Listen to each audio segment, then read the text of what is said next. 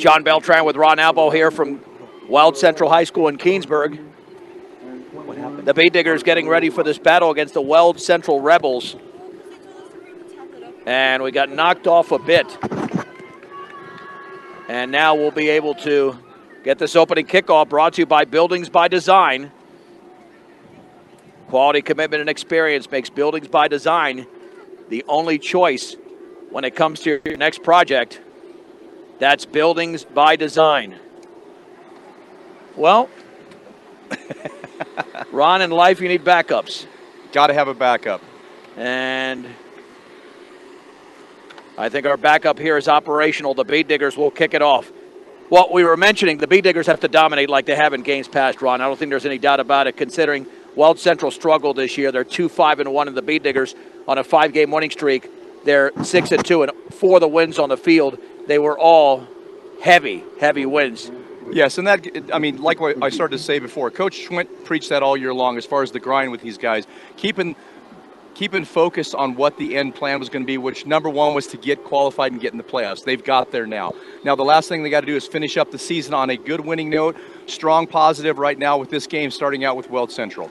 And they'll take it at the nine yard line on the return, running to the right to the 15, jitterbugging along the far sideline, the left sideline down at the 17 yard line. The Beet Diggers, they're on special teams to make the play. We know that Zane Stam, he's the big guy, Ron. 1,100 yards this year. 311 were against Arvada early in the season. But uh, Harrison Chisholm's teams, they're going to run the ball a lot. They don't throw it too much. In fact, it's about a four and a half one ratio rushing to passing, so this could be a quick game. Yeah, definitely. I mean, Coach Harrison, from all his years at Fort Morgan, he thrives on the on the ground game, and I'm sure he's not going to change much being here at Weld Central. First and 10 at their own 17 yard line. We'll introduce you to the uh, members of both teams here momentarily. Man in motion to the right. Zane Stam is the running back. He's got the football right up the middle. The Beet Diggers there to meet him. He does get two, maybe close to three yards at the 20 yard line as the hit was made. It's going to be a lot of Zane Stam. Second down, and we will call it two yards to go, uh, eight yards to go for the 20 yard line. Cole Curtis was one of the members in on the hit for the Beet Diggers. At the 20 yard line, trips to the right. And now they're setting up a fourth one inside the slot to the right. Back to throw, looking deep over the middle, incomplete. Boy, a collision out there at the 32. And just a quick pass set up by the quarterback, looking for that little that little quick slant route going across. They had two receivers in that same area. One was a tight end, kind of running a shallow, and he ran a slant from the far side, hoping they'd get the linebacker maybe to suck up on that tight end underneath. But Brush did a great job of covering that. It's a first name I've ever heard of, Tanaden. Tanaden, yeah. Tanaden Thompson is the quarterback for Weld Central. Well, they're sending out a bevy of receivers, but not much of a passing game for Weld Central.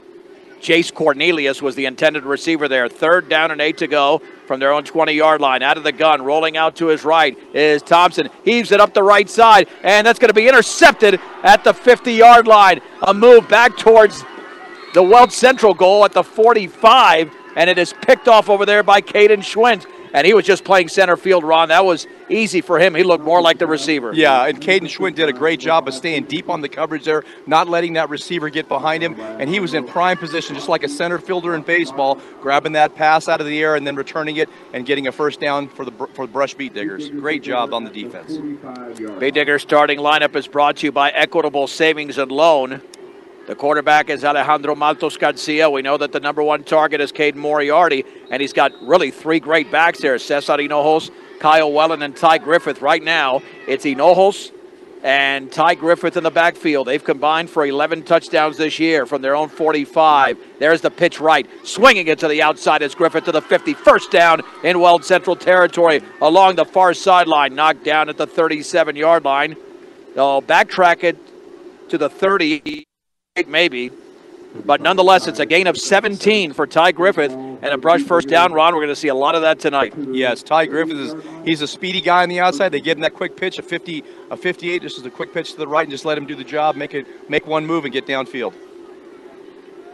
First down and 10 for the Weld Central 38 yard line. Same backfield. The backs are split. One receiver to the left and right. Handoff. Hinojos off left tackle. He's got a hole. He's carrying defenders across the 30 to the 28, close to a first down. He's right at the stick. It's a gain of 10. And we'll see what happens as Jace Cornelius made the hit. I don't know if they're going to measure here. Well, Ron, that's about 9.89 yards there. I'm going to give him 10 because he's right at, he's just shy of the 18 yard line there for Cesar. Yes, perfect. You know, Cesar, once again, this this brush backfield, you just do not know who you can defend against. They're just so versatile and they're so quick when they get that ball in their hands. Second and a foot to go. Wellen is in motion to the right, under center. Hondo back to throw. Here comes the pressure. He's hit as he throws incomplete. And that was intended at the 10 yard line there for Kyle Wellen. Third down. And that's when you want to throw a pass because you have nothing to lose. No. As long as if it's not intercepted, I mean, you're going to run the ball here for a first down anyway. Yeah, great. And, you know, it's it's a great down because you come back on third down, you still got short yardage, and you're still open to a lot of things. You got a quarterback sneak, you've got a bootleg pass, and then, of course, you just run it to one of your running backs, give the ball, hand it off to them, just let them get one yard. If they cannot get one yard, something's wrong here, and that, that has not been the case all year long. Ron, the game time temperature 61 degrees.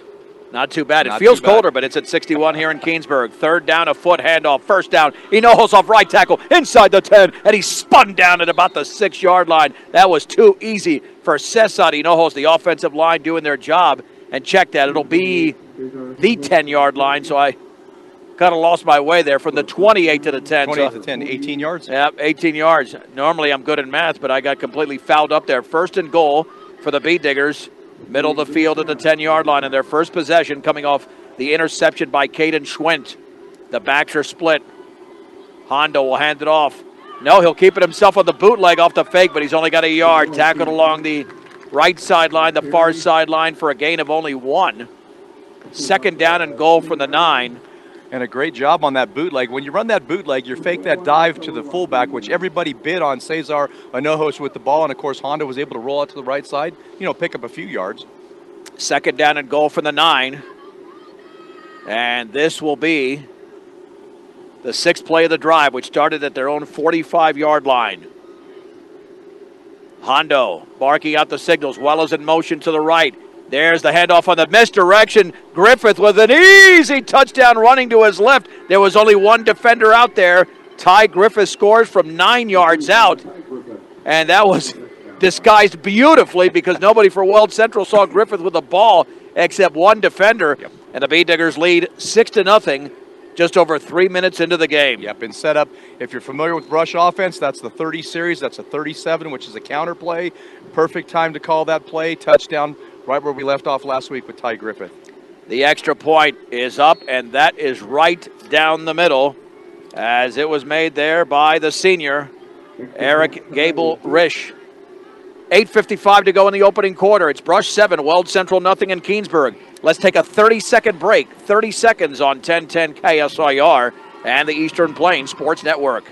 The Beet Diggers scored on the sixth play of the drive, a nine yard run by Ty Griffith. And set up by the Caden Schwint interception. John Beltran with Ron Albo, sound engineer and producers Rose Condis. And that was brought to you by Western Engineering Consultants. Fielded at the nine along the far sideline, running to the 20. That looks like Cornelius. He's down there. That's a great open field tackle. And now we have a late flag as the tackle was made over there by Caden Moriarty. Hopefully that's not a taunting because uh, Yeah. it's thrown at the very end. I mean, he did demonstrate some excitement, but it didn't appear to be taunting to me. No, a block in the back. Okay. Well, they threw that really late. Yeah, that was late. You're right. That taunting. Normally you let that go, don't Yeah, you? yep. I mean, at that point, yes. All right, so Weld Central has the ball that should be at their own 10 yard line if they go half the distance. The block in the back was at the end of the play.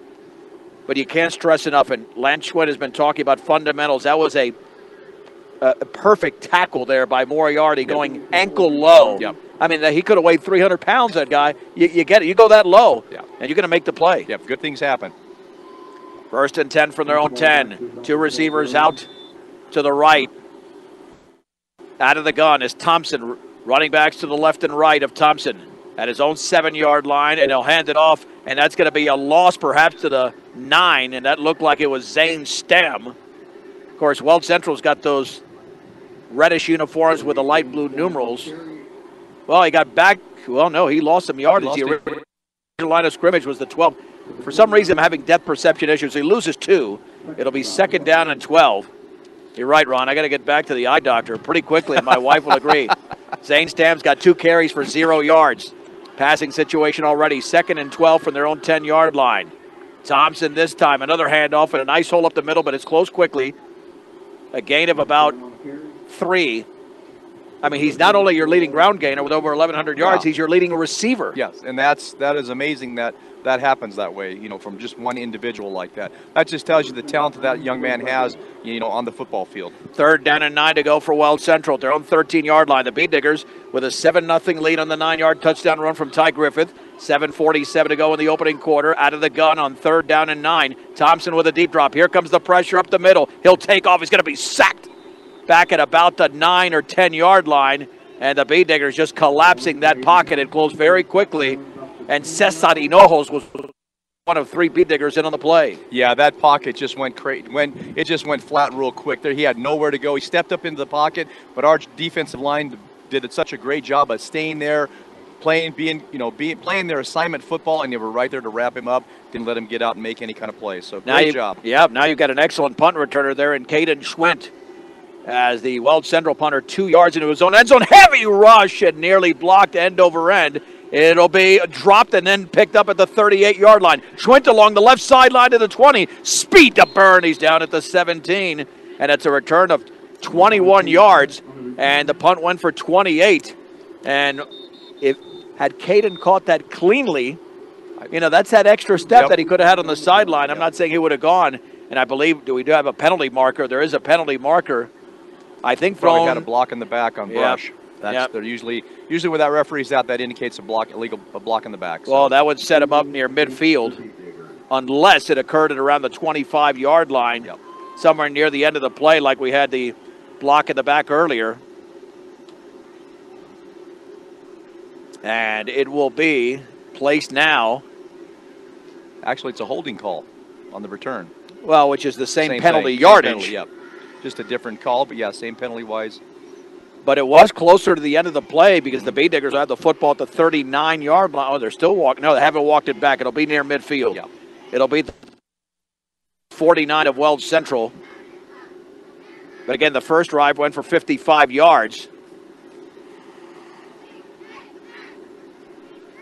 And it'll be first and 10 for the Beet Diggers from the 49 yard line. So far, Griffith, two carries for 26. He Hinojos, two for 28. So the running game has been effective as it's been all season. At the 49, the Beet Diggers up by a touchdown with 6.57 to go in the opening quarter. In motion to the right as well. And this pitch right to Wellen. He's got nowhere to go, but he's able to squeeze a couple of yards out of that. Tremendous penetration along the left side there by the Weld Central defense. But Ron Wellen just stayed low, and that's how he's able to lunge his way to the 47 yard line. If not, he could have lost a couple of yards. lost about three yards on that play, and that that play is set up. He's lined up on the left side of the formation, and he runs a, a motion, but he runs the high motion behind the for, behind the backs, and they get that quick pitch to him, giving him a little more opportunity to kind of see the field and hopefully make a cut and get to, get a big play out of that. So Second down and eight for the Beet Diggers at the Weld Central 47 yard line. Schwint is the receiver to the left. Beet Diggers have a receiver out to the right. The backs are split. Hondo back to throw. Plenty of protection. Off his back foot, right sideline, and that's going to be intercepted, I believe, or did Moriarty wrestle it away? He did. Moriarty took it. Unbelievable. It should have been picked off. Moriarty has it at the 23 yard line. A poorly thrown ball, but it's a gain of 24, Ron, and a first down. And you know, Cade Moriarty has been the go-to guy all year long. As the season has went on, just the, the amount of physicality, how he, how physical he is on the football field, and he's not going to let anybody take that ball from him. He just wrestled it right out of their hands. Automatic first down. I think he's uncoverable Yeah, at times. I mean, very- he. First and 10 for the Beet Diggers at the Weld Central 23. Let's see if this is a run play. This will be right up the gut. Hinojos is free at the 10 to the 5 touchdown. He was touched maybe at the line of scrimmage, but that was too easy for Cesar. 23 yards away. The Beet Diggers have two rushing touchdowns tonight at the six minute mark of the opening quarter, and it's Brush 13, Weld Central nothing. Hinojos now has 51 yards on three carries. Yeah. Big, big plays. great job on the part of the offensive line, opening up those holes and letting those running backs just run free. Let's see. Eric is going to boot this baby. Oh, he's got such nice technique. It just, boy, he barely, barely kicked that football and he swept it all the way through. It's good. We're still in the opening quarter, midway through on senior night in Keenesburg. It's Brush 14, Weld Central nothing. A 30 second break on 1010 KSIR and the Eastern Plains Sports Network. The Beet Diggers just scored in a 49 yard drive. That was a 23 yard touchdown run by Hinojos and a little pooch along the sideline, fielded at the 19 and down right there. And that was obviously done on purpose, Ron, because the Beet Diggers wanted to prevent a, a big kickoff return, and that was done perfectly by Eric. Yes. You know, Coach talked about his special teams, about how they have have improved as the years going on, and that's one of the, the parts. We know their defense is solid. We know their offense, what they can do. We got to make sure that the special teams are intact on down the road. How many teams did you coach where that was a deficiency? yes, we've had it. We had our fair share of that. That's for sure. and every time I address it with Randy, oh Yep. my gosh, oh, here we go again. Yep. First and ten, Weld Central, their own 20-yard line. Again, out of the gun, five yards behind center is Thompson. And this time on the counter, and a big loss back at the 14 yard line. That's not Stam that time. That's the secondary back for Weld Central, Gunnar Hesse. Well, and there was tremendous penetration. I think the beet digger that made the play was Kale Stegner. Stegner. Yeah, he's come on to be a solid defensive end for for Brusher. You know, big, tall kid, which is what you want on the defensive end right there, but also being a physical presence out there. Without a doubt. Second down and 15 to go from the 15 yard line. The Beet Diggers up 14 to nothing in the early going. Again, Thompson out of the shotgun. We'll hand it off to Stam running left side, and he's going to be swallowed up for a loss. Not even close back at the 12 yard line. Too many Beet Diggers there. Too many unblocked Beet Diggers. Hinojos and others were in on the play, including Caden Moriarty. A loss of three. Third down and 18 to go. And Ron, they don't have to really play against the pass, which is why they're. No. I don't want to say they're cheating up there, but why not if they know the run is a strength? Yep, exactly. I mean, they're just they're just they're attacking them where they know that they need to attack them at. On third and 18 from the 12, Thompson with a The deep blitz. drop, rolling right, throws off his back foot, caught, but that's Ty Griffith right there to make the play, and that's to the original line of scrimmage. That might be. Yep, it is Zane Stam again on the reception, but he had one place to go, and that's called nowhere. Yeah, and you know, Coach Rosenbrock and, and the staff has has scouted uh, Weld Central very well. I watched a little film on him, and you you get used to their tendencies. And Coach knew exactly on certain formations where they're going to be running, and when he set those blitzes, they were perfectly timed and came up with big plays. I'm impressed by the discipline, Ron. They're just staying right there. I don't have 34. The heavy rush. The punter on the roster bounces at the 38 yard line, and it's going to be right there at the 40. A punt of 28 yards with no return. And are you noticing the Beet Diggers are getting better and better field position Yeah. wise? They went 55 yards, 49 49. yards, nine yards, that is, and now just 40 yards away from the land of no hash marks. So you know, if, if Weld Central's not careful, next thing you know, they'll be at the 30. Next thing you know, they'll just hand them the ball and score a touchdown. They won't. They're not. They're making it very easy for them. Half a field. Fort Morgan blocked a punt last night, Ron. They were up 14 nothing. They were at the 14 yard line. Three plays went a negative four. Oh. You, they settle for a 35 yard field goal. You rarely see that when you get a scoring opportunity and you go backwards. Yes. But that's what happened. First and 10 at the 40. Hondo, play action, looks to throw over the middle. Caught by Moriarty. Moriarty, short of a first down. I'll slow down next time. A gain of nine to the 31. And the tackle was made by Tanaden Thompson. But,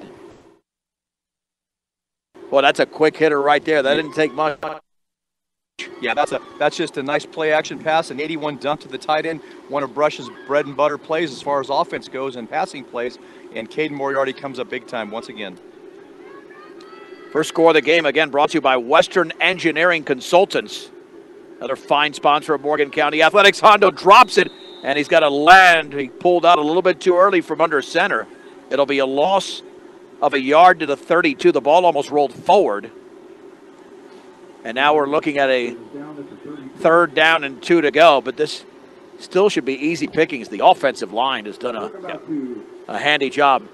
they've really gelled together this year. I mean, obviously getting you know you know Jace Krieger stepping in there from his running back spot to help shore up some stuff, and it's just amazing how well these guys are playing together now at the right time. On third and two for the 32, Moriarty's in motion to the right. This will be a handoff up the middle. First down. There's Ty Griffith getting loose at the 15. He slams into a defender at the 10. There's a late flag though. I think that's going to be a first down still because the flag is at around the 19 yard line. So let's see what happened there.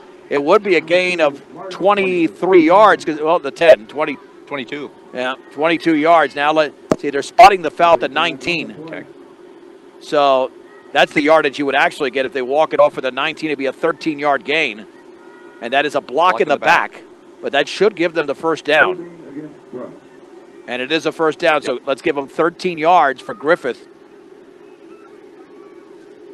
You know what?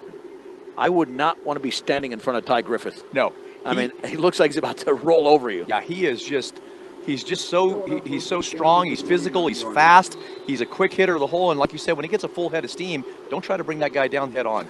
He's gonna run over you and put his cleat right in your chest. I'm up here and I'm intimidated.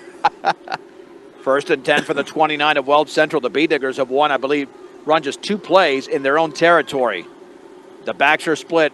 Hondo, play action. He's got Wide Moriarty wide open right sideline, has it at the 12, makes a move, first and goal at about the six. And nobody accounted for Caden Moriarty as they will spot the football at the six. It's a gain of 23, and Hondo has completed his last three passes for 56 yards, all to Moriarty. Yeah, once again, Caden is just a physical receiver. He's tough to handle. He's hard to cover. Nobody got a hand on the tight end getting off the line of scrimmage, which- is the number one thing you got to make sure you take care of. You got to get a hand on that tight end. You can't let him have a free release, and he had one right there. You and I saw that pretty quickly. I, you saw that like right at as soon as he started taking off for that uh, that route along the sideline. The Beet Diggers call a timeout. Brought to you by Greg Mullen at State Farm Insurance. 842-4555. Home Auto Life and Health. Greg Mullen, an outstanding and a longtime sponsor of Morgan County Athletics. John Beltran with Ron Albo. Minute 45 to go in the opening quarter. The Beet Diggers lead 14 to nothing. A nine-yard touchdown run from Ty Griffith and a 23-yarder from Cesar Hinojos. And about to make it three for three. And this is what we documented at the outset of the broadcast. Brush cannot just win this game. They have got to control the game and dominate like they have their previous four opponents. Yeah, they have to. And you know, that goes a long way when it comes into the final rankings with the RPI standings, as well as the coaches poll that I believe they have and another ranking that they use. So every time they score, every time they dominate somebody, comes in handy for them as far as that final seeding goes. And you know, a lot of the coaches, including Zach Lemon at Eaton, is still looking back at that 41 nothing victory over Va- uh, Platte Valley. Yeah. The other ones, if okay, I get that, but that's still. You and I were stunned. Yeah, We- I think we had Brush winning that night, maybe by a touchdown Yeah. or 10 points, but not like that. No, no, that And that has defined the rest of their season. First and goal for the six. You've got three in the backfield. Who's going to get the handoff? And this will be left side and diving to the four, maybe the three. And the ball carrier there. Jace Krieger. Yep, it's Krieger with a rare carry early in the game, but he dives to the four for a gain of two. And that's already the fifth different ball carrier for Brush tonight. Yeah. And since he's back there in that full house backfield, they've got Cole Curtis now, who's playing that left tackle spot. So, I mean, just the versatility that the offense has right now with these players is just amazing. Split backfield this time with Krieger and Griffith. Second and goal from the four. Hondo turns, hands it off right up the gut. Krieger is not into the end zone. He is taken down at the one. Looks like one of the linebackers made the play for Weld Central. Third down and goal at the one. You know, you want to experiment sometimes, but this is not the time Nah. to do it. You just want to keep it basic because if your goal, which is the goal tonight, to stay healthy, you want to play as least a, amount of football as possible. Exactly. Yep. Third and goal, and there's the give right side. I don't think they got in. I think that's Krieger. He's held short of the goal line. Little looked like a fullback dive there, but did not get in. And at this point, you got Cesar and Griffith sitting there. I'm not sure if he hit the wrong hole, Ron, or Yeah. if there was a hole. Yeah, I don't know. I mean, looking at uh, Weld Central's defense, they've got the A gap covered. They've got everybody lined up in there nice and tight. So, you know what? A good play would have been an off tackle or just a bootleg at this point. Well, let's see what happens. Right hash mark, fourth and goal inside the one. They're at the foot line. Backs are split again. Hondo hands off left side, touchdown. They gave Krieger another opportunity, and he plowed into the end zone. The third beet digger to score tonight on the ground, and the beet diggers now lead 20 to nothing. We have one second to go here in the first. And if you're watching film and you're scouting these guys, you're saying, as the opposing teams,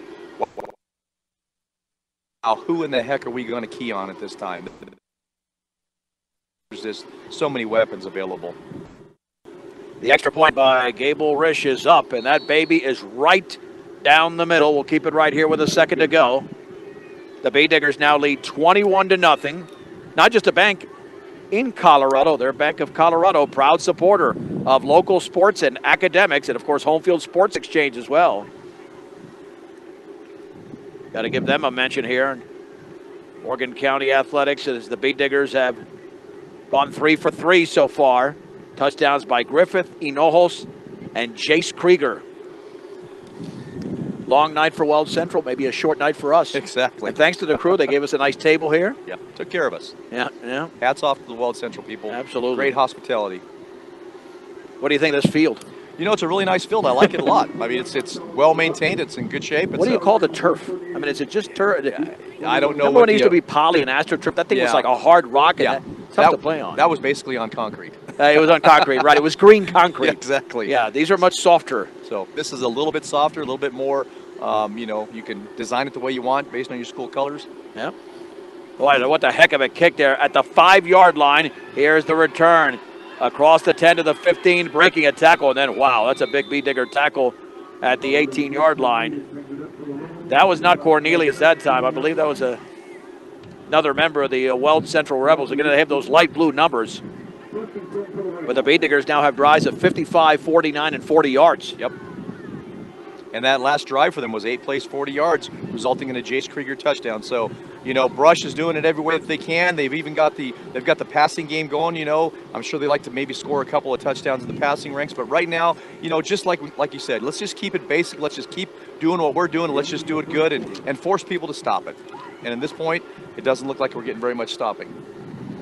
We'll hit the second quarter. We'll keep it right here. But you know what I do like so far about this first quarter run? You know, it's nice to score on the big play, and Brush has done a lot of big play scoring. But I think if you're going to establish yourself as a playoff football team even more, and of course the opposition's got to play some competitive football, they've got to cooperate a little bit. It's nice to go on a seven, eight, nine play drive as opposed to 70 yards, 60 yards. That's almost too easy. Exactly, because the you're going to run into that in the playoffs. Very rarely do you ever blow anybody out. You might get lucky in the first round of the playoffs, maybe, but from that point on, everybody's there for a reason because they played good football all year long, and that's exactly what you want to do is line up against those good ball ball teams, and you want to be able to grind it out. First and 10 for Weld Central at their own 18 yard line. A pass out in the right flat, incomplete. Kyle Wellen was right there as the pass was intended for Dominic Jones. Second down and 10. And again, they're not a proficient passing team, so even that pass, that's a, that's a, it's a long pass, but you got to throw it right on the money. And Thompson so far is one out of four with an interception and no yardage. The one they completed went for nothing. Yeah, he's not on the money right now. Second and 10 at the 18 yard line. Out of the gun. The running back to the left of him is Zane Stam. He's got the handoff. He's got a hole up the middle, breaking a tackle across the 20 to the 24. It's a gain of six. That's one of his better runs tonight. His best run. Cesar Hinojos makes the hit. Third down and four for Weld Central. And he's officially back in the plus category. Yeah, he's you know he's a real, he's a thick kid. He's probably about six foot, six one, maybe two twenty, 25, I'm guessing. He's a pretty a really big thick kid. And I so he's a wrestler. Yeah, I, would imagine when he gets you know ahead of steam going, he's going to be difficult to bring down. trips to the right. Third and four from the 24. Thompson, five yards behind center, is going to throw it out in the right flat. It's caught underneath, and a first down across the 30 yard line to the 31. Let's see if that's Jones. Nope. That's going to be Casos Ledesma instead. Desma. And the gain to the 31. That'll give him about eight yards on the play. First and 10 at the 31 yard line. Two receivers split out to the left. Thompson awaits the snap, has the football, handoff to Stam, and he's got nothing trying to run off right guard. He's swallowed up there. The Beet Diggers with way too much penetration. Cole Curtis was in that backfield. Second down and 10. That was the sixth carry for only six yards for Stam. Yeah, and that's. And Ron, he went for one. Sorry about that. My bad. He went for 196 last week. Some in garbage time against Platte yeah, Valley. Yep. You just never know what's going to happen week to week. I mean, you know how you're lining up against other teams and what happens with you. Second down and 10 for the 31. Thompson again four yards behind center is going to hand it off to Stam, and he is taken down for a loss back at the 26, 27 yard line. A loss of four, and quite frankly, the Brush defense is making this look way too easy. Yes, they are. They are just uh, they're on a mission. They've scouted them very well, and quite honestly, right now we're just a better team. We're just out. We know we're just we're, we're better athletes on that, that side of the ball, and we're more physical, and we're attacking them, and it's making it difficult for them. Third down, and about 15 to go from the 26. Thompson with a deep drop, setting up a screen over the middle, incomplete. I think it was a screen, but then again, I don't see a. yeah, it's just going to be fourth down. Yeah. Maybe I don't know if he was trying to throw a screen or a slant, but it was rather confusing. And now the Rebels will punt again. And again, we don't have 34 on the roster here for Weld Central. Nonetheless, Caden Schwint is the returner. 9:31 to go, second quarter. Brush 21, Weld Central nothing. I'd like to say a little shout out to some of those Brush parents that so endearing, and it's caught by Schwint at the 39. Looking for a block. He gets one, running along the left sideline to the 50, and then he's going to be taken out of bounds, escorted out of bounds. Once again in Weld Central territory at the 46. A return of 15, and the Beet Diggers, for the third consecutive possession, are starting in Weld Central territory. Yeah, so, uh, Veronica Maltos Garcia, got to give her a shout out. Kayla Castrop and many others out there always have supported our coverage here on 1010 KSIR. And uh, you had a parent last Sure week, uh, yep. Mr. Hey, Moriarty. Mr. Moriarty, yep. He was uh, came up and wanted to congratulate us and tell us how much he enjoys the broadcast and, and what a great job we do here. And you know, we we take that seriously. That's something that's very very important to us. 100%. First and 10 for the Beet Diggers at the 47. The backs are split in Weld Central territory. Wellen's in motion to the right. Here's a pass over the middle that's going to be broken up. Intended for Moriarty at the 31 yard line. Little play action there by Hondo, but he was well covered that time. And not even Moriarty could pull that off second and 10. No, great coverage on the part of the defense there. They knew that um, that pass play was coming, and he was in, a, in good position there and didn't allow Moriarty to get that pass. And it's good they're working on this, Ron, because they could just run the ball successfully. And but you know you want to diversify the playbook a little bit. Second down and 10 for Brush at the 47 yard line of Weld Central. The backs are split. Wellen in motion to the right again. Counter. Griffith, left side. He's got a first down across the 40. He's spun around at the 35 yard line. And Ty Griffith, like a big, strong back with a gain of 12 for the junior. Yep, once again, Brush back to that 30 series, that counter where he runs a 37 there, and they've got a guard pulling and just opening the hole there for him on that side of the line makes it a big play for Ty. The Beet Diggers are over 100 yards rushing, 51 yards on four carries for Ty Griffith. They've got rushing touchdowns from Griffith, Hinojos, and Krieger in that order. From the 35 of Weld Central, 8.50 to go in the opening half, 21 0 Brush. This will be a gift to the deep back Hinojos. He's got big time yardage. He goes for the first down. He continues to carry defenders at about the 23 yard line. Pick up of about 13 again. 13 exactly. From the 36 to the 23. Hinojos now four carries, 64 yards. So they've combined for 115 yards between Hinojos and Griffith.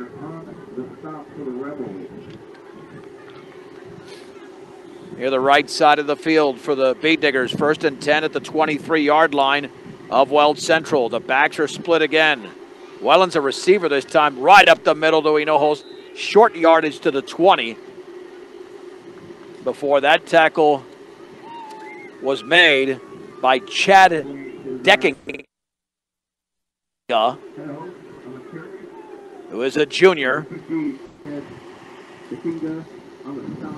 Second down and seven. And we know that Harrison Chisholm's the head coach of the Rebels, but he's in transition here, Yeah. trying to develop this program. It's going to take a while, Ron. Yeah, and you know he's got a he's got a, a great formula. I'm sure once he gets it going, he's just got to you know get the kids to buy into it and get them used to what's what's going on. At the 20 of Weld Central, Hondo under center, handoff to Griffith, uh, Knowles, back towards the middle, first down across the 15 to about the 12. It's a gain of eight for Cesar Hinojos. Just like that, the clock keeps running, picking up first downs. That's it, making it nice and easy for the Beet Diggers. We still have 7.18 to go in the opening half. And we're approaching a six-play drive right now, so that's good for them. They're just you know, let's see if we can get to eight plays. Well, the shortest one's a three play drive. Yeah, absolutely.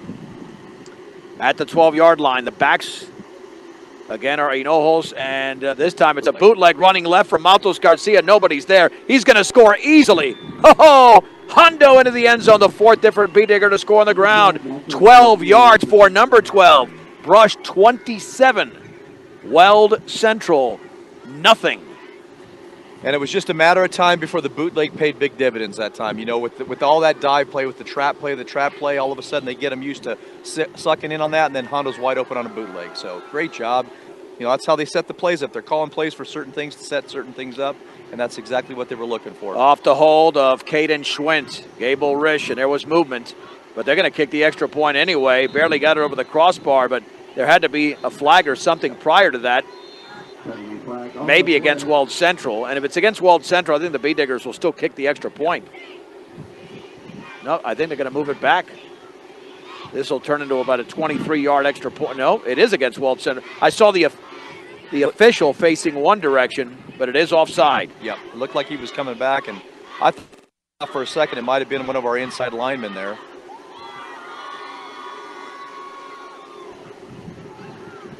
That ball encroachment on the Rebels. Now the extra point to be attempted. That is up, and that one looks good inside the left upright. 6.56 to go, second quarter. With the score, Brush 28, Weld Central nothing. A 30 second break on 1010 KSIR and the Eastern Plains Sports Network. Along with Ron Albo, I'm John Beltran. Ron, not a two or three or four play drive. They actually ran some plays there and got back into the end zone. Yeah, six plays there. Great job for the for the Brush Beet Digger. I know that if they can just continue to build upon that, extend it to seven, eight plays, and start to chew up more of this clock here, you know, and score some more points. That's exactly what they want to do. To be able to have those sustained drives is definitely going to come in handy down the road. Now the kickoff, and that one's booted along the left sideline, fielded at the 12, and a big strong run. That is Cornelius getting loose across the 30, and he's down at the 33 before the hit is made. Nice open field tackle there for Wiley Eicher, a sophomore. Call it the 33, first and 10 for the Rebels. Beet Diggers with that 12 yard touchdown run from Hondo with a 28 0 lead.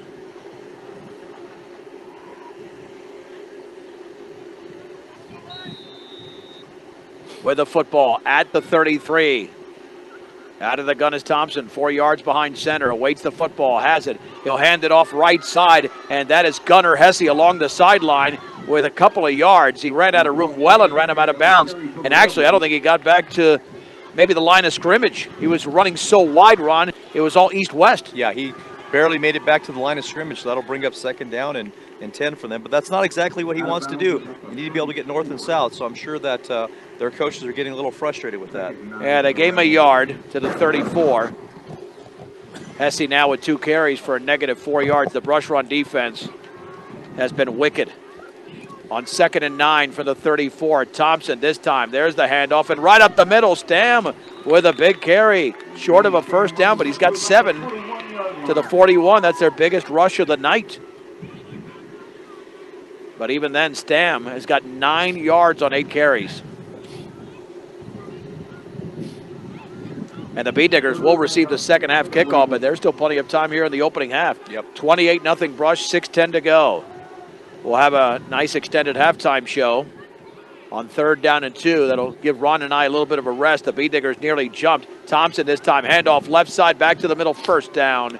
Nice cut there by Stam, a gain of three. Moriarty and Jace Krieger made the hit. You know, Jace Krieger just contributing on both sides of the ball, running the ball, scoring touchdowns, also playing the outside linebacker, defensive end, and some of the defensive fronts they've got here, making big plays on the field. First and 10 at the 45 yard line. Receivers put left and right. Thompson again, four yards behind center, low snap. There's the give, right side, and back to the line of scrimmage. And that might have been Stam again.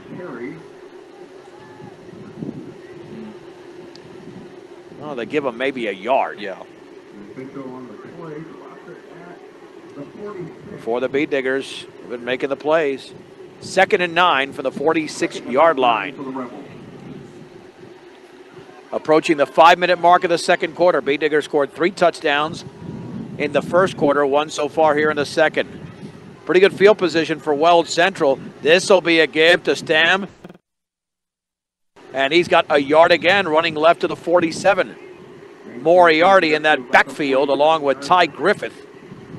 Third down and a short eight to go.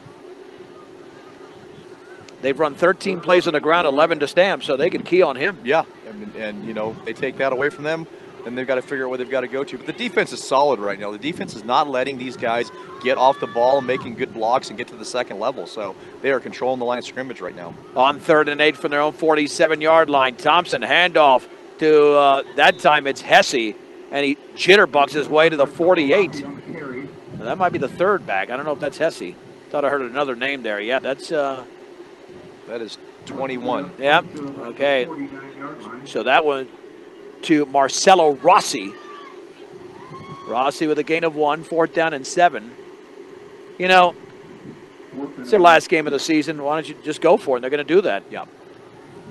Fourth down and seven to go. They got to get to the 45 of Brush. Two receivers split out to the left or to the right, one to the left. Thompson, low snap, looking to throw. Pressure's coming now off to the left side. He's going to have to throw off his back foot. It's going to be intercepted at the 46. Along the sideline is Krieger. He's knocked out of bounds.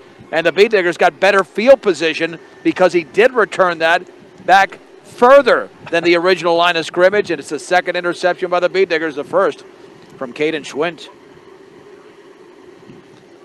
All right, they're at the 39. So that return on the interception went for 15 yards. Yeah, Jace Krieger once again making big plays on the defense. But really, that play was not made by Krieger, whoever applied the pressure for Brush. That was incredible pressure.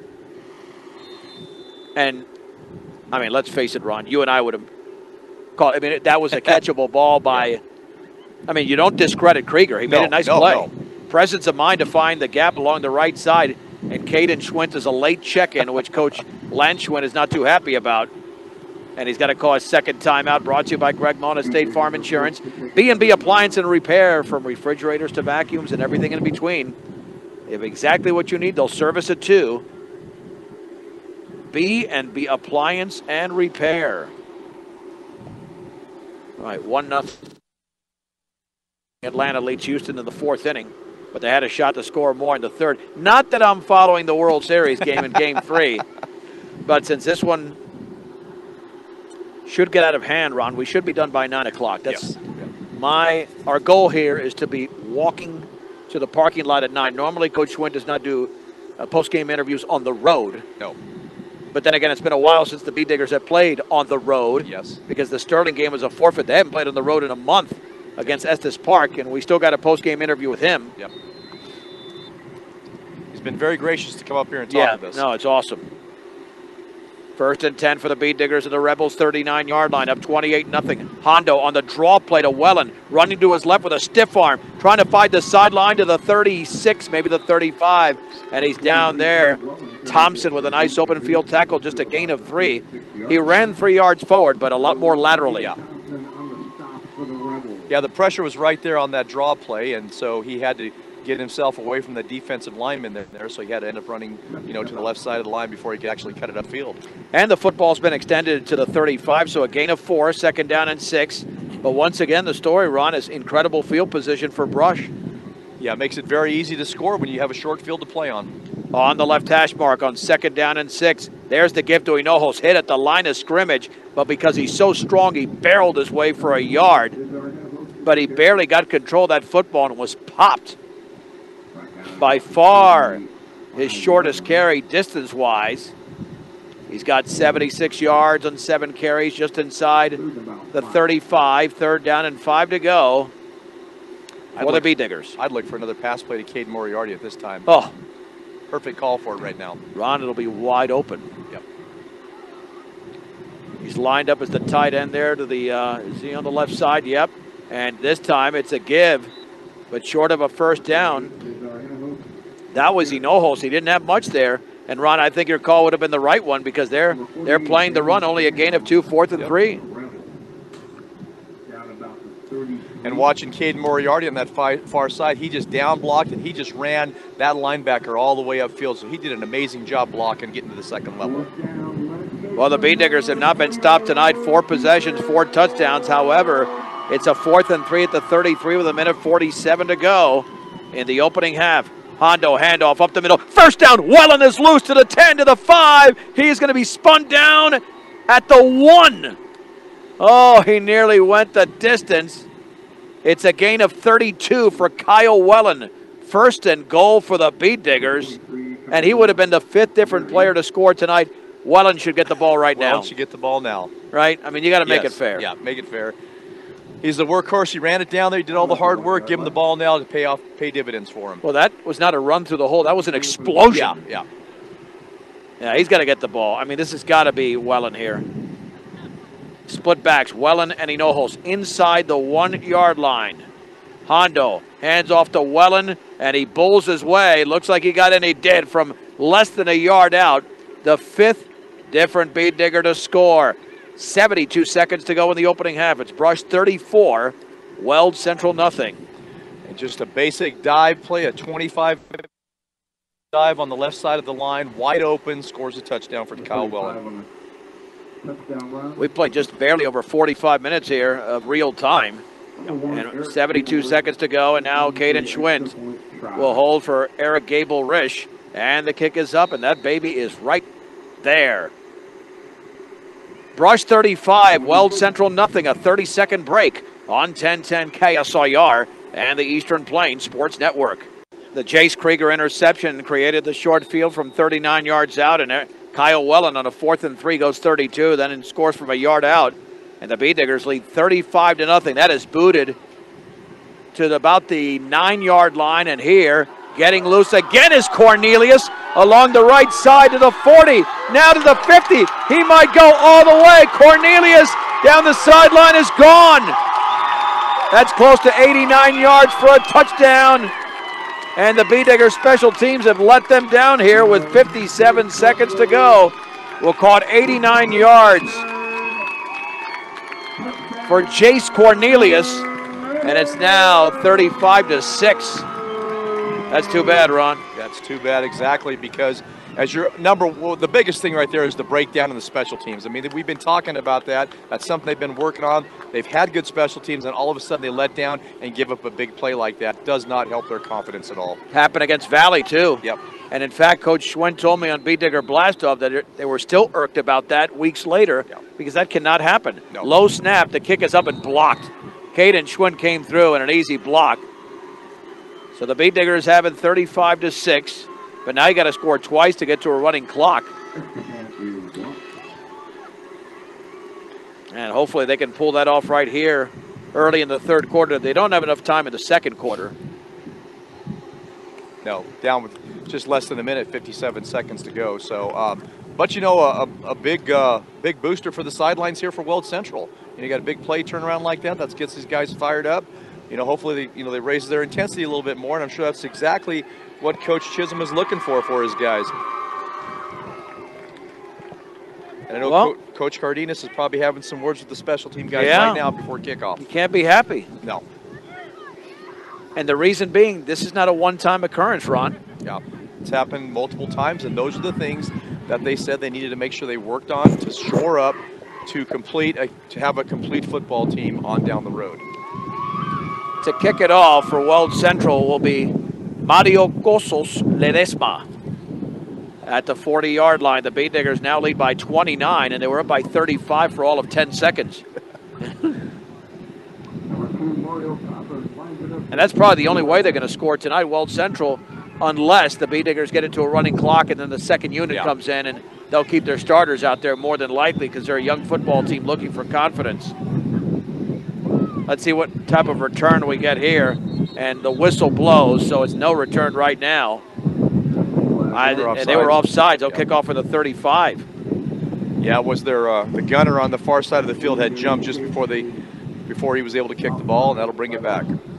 And now the wind is kicking up quite a bit. Yeah, we're uh, we can hear it in the we can feel it on the back of our body, but you can also hear it on the radio too. Yeah. I'm sure. Well, it's part of the atmosphere. It's what you love about Friday nights football games in high school. It's awesome. So it's a kickoff now from the 35. Wellen's down or standing at his own 14 yard line. The Beet Diggers have five touchdowns from five different players tonight, all on the ground. And Cosos Ledesma runs up to the football. And this is a little pooch towards the sideline, fielded by Hinojos at the 30. Stutter steps, cuts it back to the outside, still on his feet. Got to about the 45 yard line.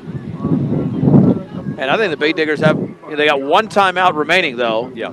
and 50 seconds to go. Ron, I can smell a Caden Moriarty pass here. Yes, it might not be a bad idea, but the problem is that wind's coming in pretty hard there. So It unless is. that ball is delivered right on the money with some force, it's going to float. Not the best thing. Without I'd say just run the ball right now and pick up what you can. Well, if they pick up a first down, the clock will stop Yep. momentarily, Yep. so that'll help. And with the way they blocked that last play, And Coach still's got two timeouts too. Also, okay, so it was Weld Central actually that took one of those two. Yeah, you're right. Two timeouts. My bad. So that that changes everything. That extra timeout does really change Yep. everything. First and 10 at their own 45. The backs are split only the second time the Beet Diggers are starting on their own side of the field. Wellen's in motion to the right. There's the pitch left, and Aaron pitch. Nice catch by Griffith, cutting it back towards the middle. He's down at the 47, only a gain of two. That was disrupted because of the high pitch, and Griffith did a nice job of bringing it down.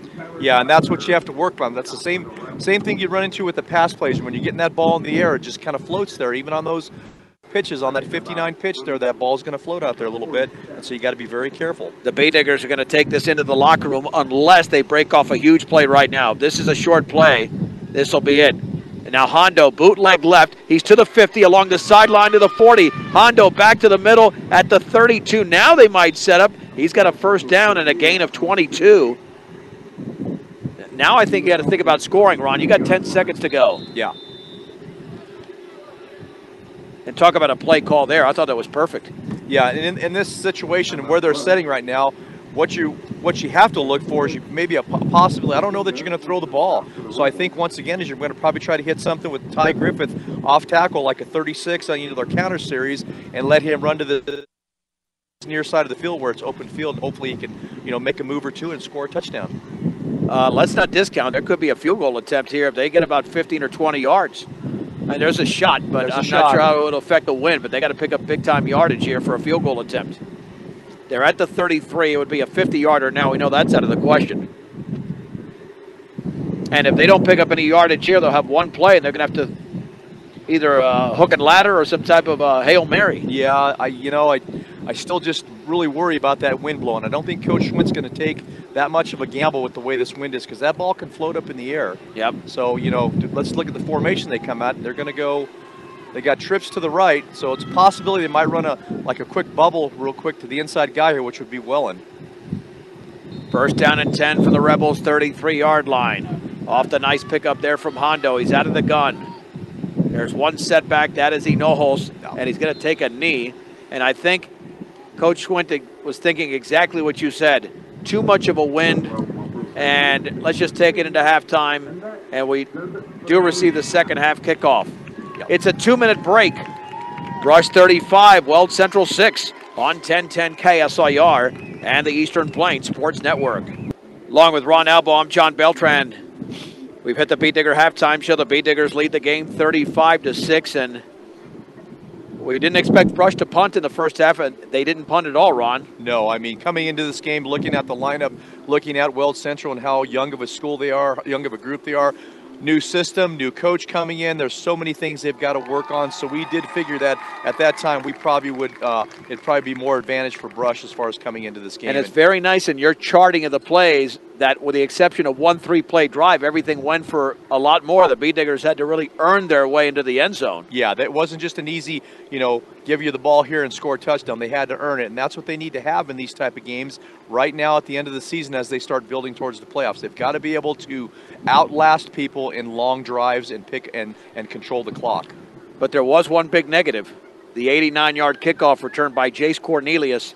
And it looks worse, Ron, considering Weld Central has 20 yards of total offense tonight to 263 for Brush. Yeah, and if you've got to look at one thing that's not going to be pleasing to the uh, Brush coaching staff, it is going to be that that kickoff t- for a return, you know, return for a touchdown. As we said earlier, special teams that completes the whole cycle of the team, and um, that has been a weak point and a problem that they've had to deal with all year long. So they've got to figure out a way to shore that up because we know we've been in many of these situations where a game win comes down to a field goal in overtime or a field, you know, something like that, and you got to be able to count on that and to you know to be able to solidify a win and also being able to keep somebody from getting back into a game when you're dominating them and running back a kickoff for, you know for a touchdown. So they've got to work on that. Absolutely. Ty Griffith, five carries, 53 yards, and a touchdown. Hinojos, eight carries for 78 yards and a score. Kyle Wellen has 39 yards on four carries and a touchdown. Hondo has got four carries, 33 yards and a touchdown. Jace Krieger, four carries for six yards and a score.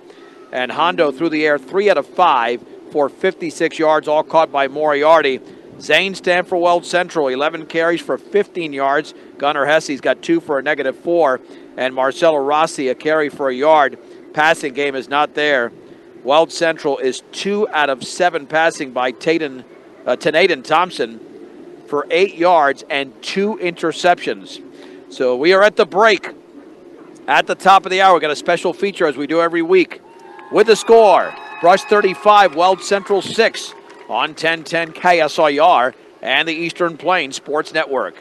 John Beltran back with Ron Albo. Let's head to the third quarter in Keenesburg. The Beet Diggers with a 35 to 6 lead over the Weld Central Rebels. The lone mishap, the 89 yard kickoff return by Jace Cornelius, but you have uh, Ty Griffith from nine yards out, Cesar from 23. Hondo scored late from 12 yards out.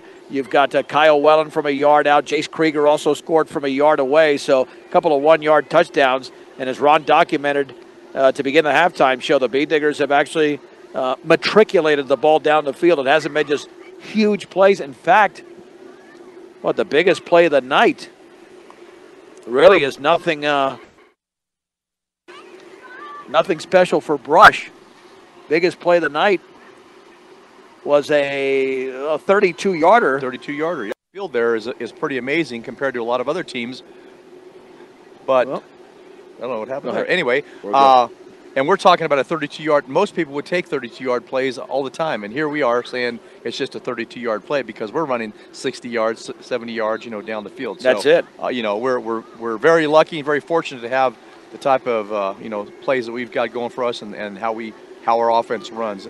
You know, one thing that I did want to mention is as I'm looking at our kicking game and watching, you know, uh, our kicker is that he has become a whole lot more smoother as the years went on. It's almost like he's, if you're a golfer, you know, you're up there and you're putting, how you just kind of swing through that. His leg hooks that ball through nice and smooth. And that has been good to see him as the year has progressed this year. It looks like it's very effortless for Yes. Eric. Very effortless. And this one is kicked way out of bounds, about 20 yards out of bounds along the left side. They wanted nothing to do with that return. No return. And in fact, the Beet Diggers are going to get better field position because normally it's marked at the 35, I thought, or am I wrong Yes, about no, that? it's 35. But I think they're going to. It went out about the 43 yard line. I Yeah, think that's it what I'm saying. I think it, it might be, they might mark it on the spot. Oh, wow. And that's the way to do it. You, you shouldn't be allowed just to kick it out of bounds you, you, it's like getting the ball back to the line of scrimmage as a quarterback if you're throwing it away. Yeah, you got to make some effort to, to get the play there and keep the ball in bounds for them. So they're going to start at the 45 yard line. First and 10 for the Beet Diggers. Do they have a six player that can score? They don't actually. Well, Moriarty. Ah, Moriarty. Through the R. They've also got Jonathan Becker, too. Yeah, through the air. And Jonathan Becker's got massive speed. Wellen in motion to the left. There's the inside handoff right up the middle. Hinojos is loose along the sideline to the 30. Hinojos to the 20 with defenders in pursuit. He's gone. 55 yards. Talk about a big play. And the Beet Diggers just got it right there. Up the middle to begin with and along the right sideline. Brush 41, Weld Central 6. And you know the, the offense comes out. I know they said we want to establish this line of scrimmage and continue to dominate the uh, Weld Central Rebels, and they did that right off the bat on the first play. So great job. 11 minutes and 49 seconds to go in the first or the third quarter. So 133 yards on nine carries for Cesar. And Eric Gable to attempt the extra point, and that is as smooth as silk. 42 to 6, the Beet Diggers with the lead. High Plains Bank in Wiggins. Check them out at highplainsbank.com. Serving our rural communities, High Plains Bank in Wiggins. And the Beet Diggers now are one touchdown away from getting this to a running clock. Now, Ron, what do the Beet Diggers do with a kickoff? Uh, You going to squib this thing? no, I I, I uh, it also this this probably would be a good time to try this something like that possibly and see if they can get the ball back. Well, But I'm not I- taking I- onside. yeah. I'm talking No, no, a no. squib where you keep it away from. Yeah, you're right. You know, Yeah, and one of so- those at around the 30 yard line. 'Cause I- Possibility, but I think they they still try to keep it deep and pin them back deep in their own Okay. end zone. well, they have the ability. They've done it a few times this game. It's just that one collapse that they had earlier. Yeah. All right, let's see. Yeah, I think he wants to test his special teams. Hey, you guys got to get this done. We don't want to just give it up easy. this will be towards the sideline. It bounces, still bouncing it around the 18 yard line and picked up. And now there's going to be a little bit of running room, and there was a little seam there Just a bit. to the 24. That was not Cornelius, though. I think they kept it away from him. And that's the one thing. I think there was a concerted effort. One to kick it towards the sideline, which actually was the case last time with the long return. But that was not Cornelius there. First and 10 for Weld Central at their own 25 yard line. The Beet Diggers with a 41 to 6 lead. Second touchdown of the game for Cesar Hinojos.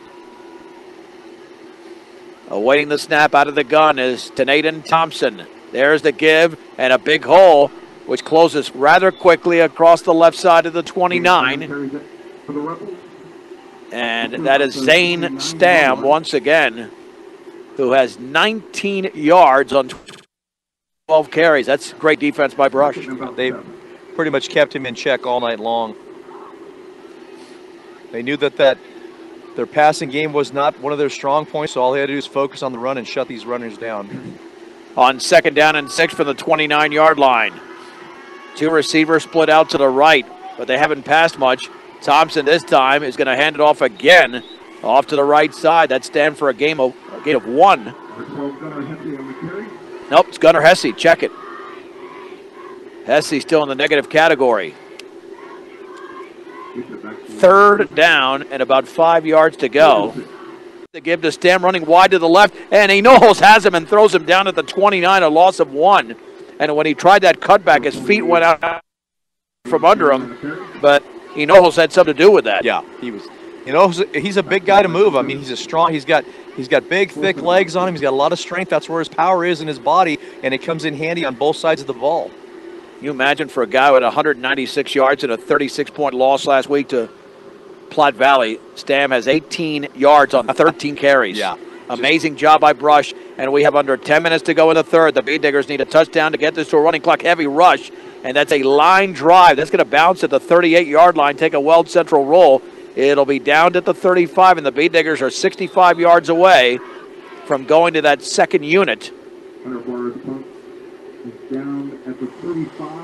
And they have not been stopped tonight. Ron, but no surprise there. No, no. I mean they're they're uh, they're running as smooth as you possibly can on all cylinders on that offense there, and and the defense has done a great job. They've answered the call here, and they they take pride in their in what they're doing on the football field. And when you've only got one dimension of an offense to worry about, it makes it very difficult for it. Extremely. First and 10, the Beet Diggers lining up on the right hash mark at their own 35 yard line, leading by 36 with 9.47 to go in the third quarter. Hondo is under center. You've got three in the backfield now. Are split with Wellen in motion to the left. This will be the inside handoff, and that's a big hole for Hinojos to the 45, back to the middle to the 40, now to the 30. He might go to the 20. Hinojos is going to do it again to the 5. Touchdown. Holy Mahungus. Cesar Hinojos just went 65 yards.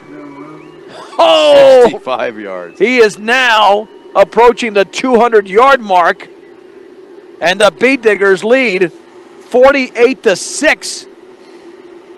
And Hinojos now, oh, this is too bad. He's going to be taken out of the game Yeah. with 198 yards, Ron. And now the extra point to be attempted. Yeah, I, that, that should be it. Running clock, and the kick is up and good. Let's take a one minute break. We're back in one minute. Nine minutes to go with a running clock in the third. It's Brush 49, Weld Central 6 on 1010 KSIR and the Eastern Plains Sports Network. And the kick goes out of bounds at about the 16 yard line, so Weld Central will have it at the 35. Cesar Hinojos has the only two plays for Brush in the second half. Touchdown runs of 55 and 65 yards, three touchdowns on the night. He's got 10 carries unofficially for 198 yards. But- But 35 yard line. He's done for the night, you would think, along with all the other beet diggers. Yeah, they'll they'll let them. They, they probably will have them set. I know they're going to stay on defense for a while. First and 10 at the 35. There's the handoff to Zane Stam, and he's eaten up in the backfield, trying to run to his left. On the carry. Kyle Wellen and others around the football. And it'll be second down. We'll call it 10. He got back to the line of scrimmage, but there's just nowhere to go. No, they've Coach Rosenbrock's got these guys lined up. They're in great positions. They're there to make plays. You know, and as I've been watching throughout the game, he sent blitzes a lot during the night at different times, crucial times, and made big plays come out of it. So, you know, right now Jace Krieger's lined up to the near side here. Looks like he might be going for a, going on a blitz. Uh, there was about, I think that was on the center there, Ron. Everybody moved, but the center did not snap it. So that's going to be a penalty against Weld Central. Second down and 15 now at the 30 yard line. But you know what I love about penalties? When a running clock is in existence, you know, because it doesn't stop. It doesn't stop the clock. Right? I mean, we literally have just over 18 minutes of football, Yeah. and the real time right now is 8:26. We'll probably be in that parking lot by no later than nine o'clock. No later than nine. Second down and 15 from the 30. They can only stop for injuries and timeouts.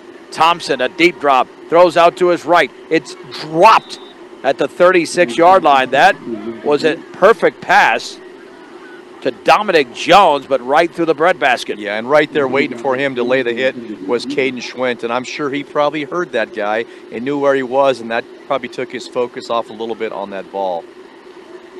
Now checking in is, well, that's just Thompson getting the play from the sideline. Down to the level. Third down and 15 to go from the 30. The Beet Diggers with a 49 6 lead. Two plays, two touchdowns after they led 35 to 6 at the half. Thompson in a passing situation, but he's going to hand it off to Stam, and that's going to go nowhere. Back to the line of scrimmage, and at best, and again, gang tackling by the Beet Diggers. Just way too many Beet Diggers there.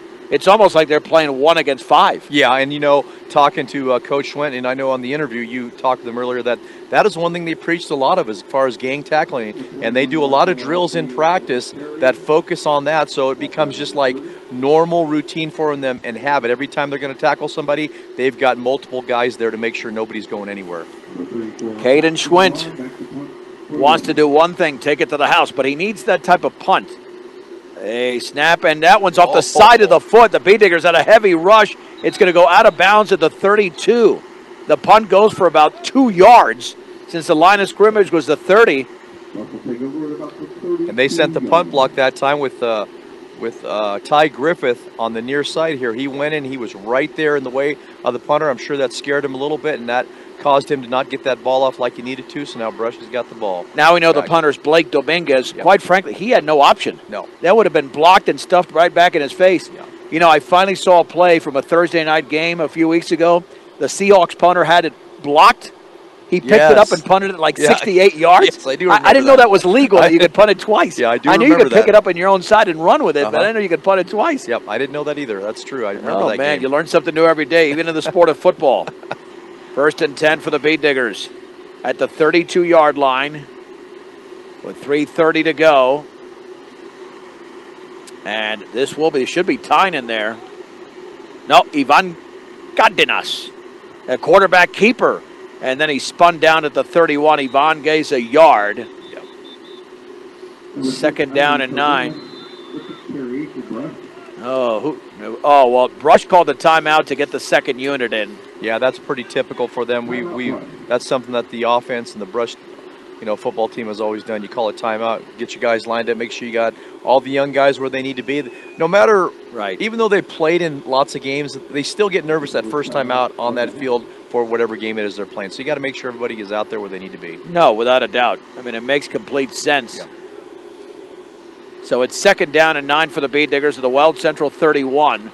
We're under a running clock unless it's stopped for a timeout, which we had here, or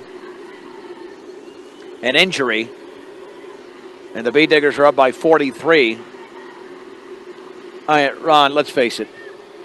Anything less than winning this game under a running clock would have been a failure. Yeah, exactly. I mean, you know, it's it's just the way the schedule worked out for, Right. for Brush, knowing that the type of team that they are, and, and as they've started to progress all year long, it just set them up in situations like this. So the quarterback is Nate Tyne, a junior. And there's the give up the middle for some big yardage. I think that's Becker to the 10 to the 5. Touchdown. That is Jonathan Becker, 31 yards away. And the Beet Diggers just keep scoring on big plays here in the second half. Make Becker the sixth different Beet Digger to score rushing touchdown. Hinojos has three of the touchdowns tonight on his own. And Brush now leads 55 to 6. And by the time we get to the kickoff, Ron, there's going to be about a minute 10 left. Yeah. The extra point by Eric Gable Rish, and right there, Beet Diggers lead by 50. 56 to 6. We'll have the kickoff. And yeah, we're going to be done quick. Our sound engineer and producer, Rose Conda, she's going to be very happy. I mean, I'm happy. and yeah, me too. We've got to drive home, so that makes it makes us getting home You a know, little bit earlier. That was a very selfish comment by me. We're happy. I'm sorry, Ron. I didn't mean to exclude you. That's okay. I understand. But how about this big play? The big plays here in the second half. We didn't have any of that in the first half. No. Not like this. No. Yeah, crazy, crazy big plays. You know, as you look at Brush's offense, it, it's going to be a very difficult offense to prepare for and to defend. And I think, you know, we can go back to, you know, 10 years ago, seven, you know, eight to 10 years ago, when Brush had the same type of offense out there with the same type caliber of players, and it was hard to defend and hard to know how you're going to prepare for them. Now the kickoff here for Eric Gable Rish right down the middle. Takes a hop at the 20, and it's dropped, picked up at the 20 now, and a big seam up the middle along the 30 yard line, looking for a block to the outside, and back to the inside of the 40, and down at the 45 yard line. Let's see who that returner is for a return of 25 yards. But again, that was Jace Cornelius, the touchdown maker for Weld Central, went 89 earlier in this game. And on that uh, special teams kickoff team for Brush, that's a younger group. They're substituting in their guys, so they're getting, letting these younger guys play. But once again, you got to expect that sometimes there's going to be breakdowns in there. You don't be- want that to happen, but No. it's the reality. This should be the final play here of quarter number three. Maybe they've got one more after this with 47 seconds to go. To Noiden, handoff to Stam, and he was grabbed high and then taken down at about the 50 yard line. But as Ron mentioned, lots of second teamers out there. It's a gain of five to the 49. This is where Stam gained all those yards last week against Platte Valley. So he's now up to 23 yards on 16 carries. And that tackle right there is by Brody Dick from Brush. So Brody Dick, tack number 49, tackling him at the 49. Second and five for the Rebels at the Beet Digger 49 yard line. Final play of quarter number three. Thompson four yards behind center, hands off on the right side to Hesse. He lost the ball, and the Beet Diggers are going to have it. The Beet Digger, or do they not have it? It still squirts around. Weld Central recovered at their own 45 yard line. That must have gone through a couple of Brush players' hands. It's the end of the third quarter, a one minute break. Brush 56, Weld Central 6 on 1010 KSIR and the Eastern Plains Sports Network. All right, I'm not sure what's happening as we head to the fourth quarter. That football should not be placed where it is. I'm John Beltran with Ron Albo. It should be a third down at about 10. I think they got the line of scrimmage all messed up, Ron, because it was a loss. Yes. Was it at the 49? This would be a third and six. I still think that's it. But incorrect. it's now it's a change of quarter, so they've got to. No, no, right. But So, I, yeah, I think so they flipped be- it incorrectly. It should have been. I thought it was at the 46, but It was at the Yeah. 46. They have flipped it incorrectly. yeah. Well, you know, I think these officials want to get the game over with too. The Beet Diggers are up by 50, Yeah. but that's still incorrect. Yeah, it is. That is completely incorrect. And in fact, they're going the wrong way. Yeah, the down marker doesn't match where the ball's setting at right now. This should be third down. Uh-huh. They have screwed this up royally. Yeah. I don't know where. I mean, what the heck is going on? you've here? got about how many officials there? Not one of them can get it right. no. First of all, it looks like there's only. I'm counting only five, what, five officials working the game. yeah, You switch sides. It should be third down at about 10, yeah. and they have completely messed this up. It's yeah. That's went- what's delaying the start of the fourth quarter. Yeah, they went back to the original line of scrimmage before that play, before the fumble. But even there, it should not be at the 49. This should be third down. They've got second down Yeah. on the board. Oh my gosh! Now let's go back the other side. That doesn't make sense because the Oh, The ball was not there. No. The ball was at about the 45. I don't know what they're doing there. What is going on here? Oh my gosh, this is ridiculous. This is it, it should be third and 10. It's like second and 5. It's like the officials compl- that, that is the height He of incompetence. I'm, I'm sorry.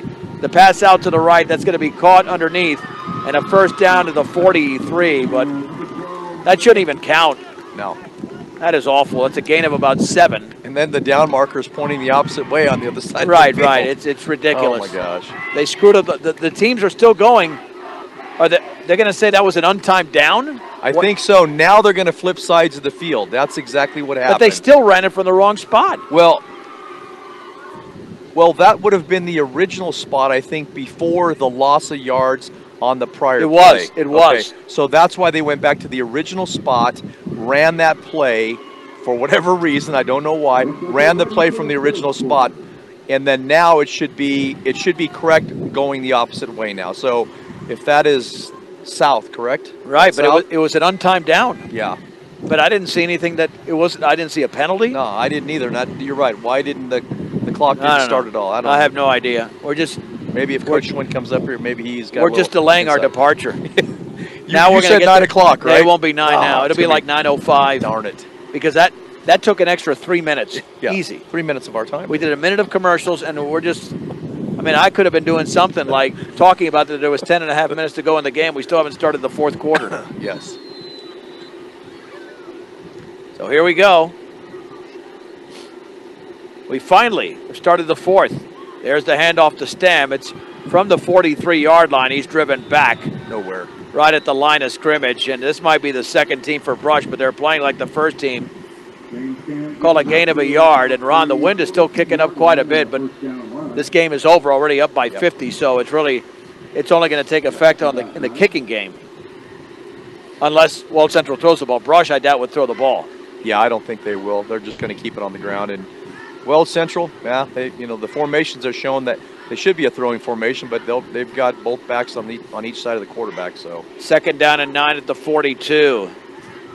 Thompson is back to throw to his right, wide open, dropped at the 38 yard line, right in the hands of Cosos Ledesma. That's like the second or third drop tonight by a Rebels receiver. yeah, and right, the ball was right in his hands. I mean, no reason why he should not have caught that ball.